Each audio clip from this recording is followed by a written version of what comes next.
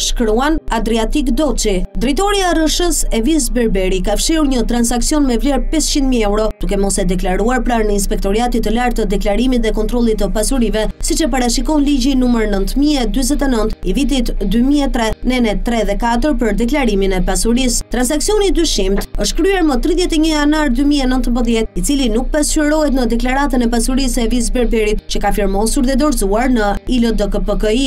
Në shtatë shtator dy mijë e tetëmbëdhjetë, Evis Berberi i blen Valter Begajt kompaninë B-VAL ENG dhjetë me NIPT L shtatë njëzet e dy zero pesë zero katër dy F për njëqind mijë lekë. Kompania e themeluar në tetor dy mijë e shtatëmbëdhjetë kishte dhe ka si objekt studim, projektim, mbikëqyrje dhe kolaudim objektesh ndërtimore e të tjerë. Një muaj më pas, Berberi ndryshon emrin kompanisë nga B Val ENG 10 në DAM në 31 janar 2019, Evis Berberi e shet kompaninë Brunilda Bulit për 500.000 euro në kontratën me numër 812 të Republikës dhe 278 të shitjes së kuotave, thuhet se 8.000 euro zonja Brunilda Buli e ka dhënë Evis Berberit jashtë zyrës noteriale për vitin 2019. Evis Berberi ka dërguar dy deklarata pasurie në ILDKPKI, një deklaratë fillestare të pasurisë në pesë mars dy mijë e nëntëmbëdhjetë, si këshilltar pranë Ministrisë së Infrastrukturës dhe Energjisë, si dhe tjetrën gjatë ushtrimit të këtij funksioni publik, dorëzuar në ILDKPKI më një qershor dy mijë e njëzet, por që pasqyron pasurinë, por që pasqyron pasurinë për vitin dy mijë e nëntëmbëdhjetë. Në asnjërën prej deklaratave të pasurisë, nuk rezulton e deklaruar shitja e kompanisë DAM me vlerë pesëqind mijë euro,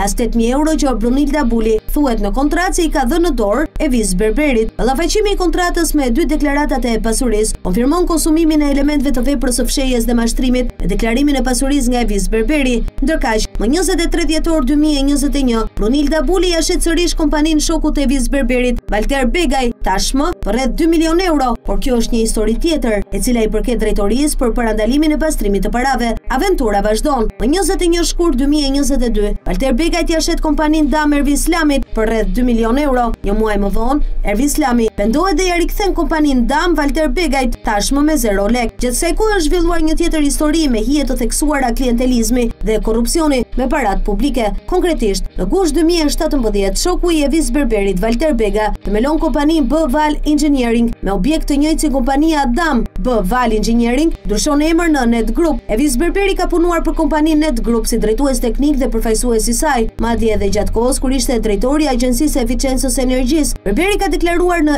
ILDKPKI në vitin dy mijë e nëntëmbëdhjetë të ardhura nga kompania Net Group si drejtues teknik. Kompania Net Group ka marrë dyqind e tridhjetë e tre tenderë publikë me vlerë miliona euro, pasi bëhet drejtor i ARRSH-së në dhjetë nëntor të vitit dy mijë e njëzet e një, Evis Berberi shpalli pikërisht kompaninë e grupit të tij Net Group, fituese të tenderit me vlerë 150.000 euro për mbikëqyrjen e punimeve të lotit 7 të Unazës së Tiranës. Evis Berberi ka firmosur për kompaninë e grupit të tij Net Group edhe katër tenderë të tjerë me vlerë rreth 1.5 milionë për supervizim për mirëmbajtjen me performancë të segmenteve rrugore. Tre nga katër tenderët janë me flamur të kuq korrupsioni. Nga ana tjetër, kompania Hill International, e regjistruar në Holandë dhe me pronarë të fshehur, ka fituar kontratën nga ARRSH-ja nën drejtimin e Berberit për mbikëqyrjen e punimeve për tunelin e Llogaras. Hill International ka nënkontraktuar pikërisht kompaninë Net Group të grupit Evis Berberit për zbatuar kontratën me ARRSH-në. Duket qartë se dy shokët, Evis Berberi dhe Valter Bega, kanë përdorur një kompani në Holandë për të kaluar paratë publike te kompania e tyre Net Group, duke shpërdoruar detyrën Evis Berberi, si dhe duke zbatuar një skemë të mirëfilltë korrupsioni. Historia nuk mbaron këtu.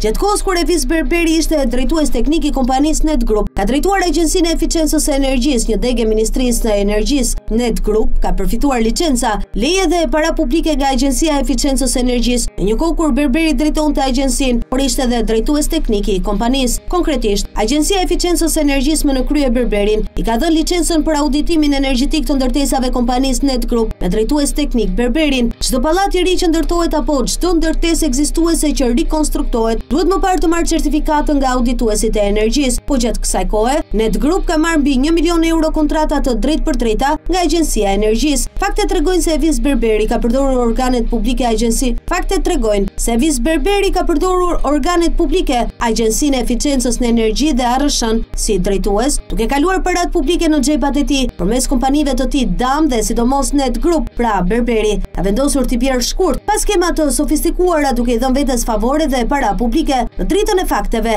edhe pak politikë. Sali Berisha dhe Ilir Meta nuk e përmendin kurrë Evis Berberin dhe bëmat e tij me ndarjen e parave të rrugëve, po pse nuk e përmendin kurrë? Madje po t'i pyesni se çfarë mendojnë për këtë emër, u thahet goja. Arsyeja është e thjeshtë. Një pjesë e parave të rrugëve shkojnë në xhepat e Sali Berishës dhe Ilir Metës përmes disa oligarkëve, pak me fatura bankare dhe shumë me çanta. Nëse Altin Dumani ka interes, Të më thërrasë dhe i çoj provat, besë burrash,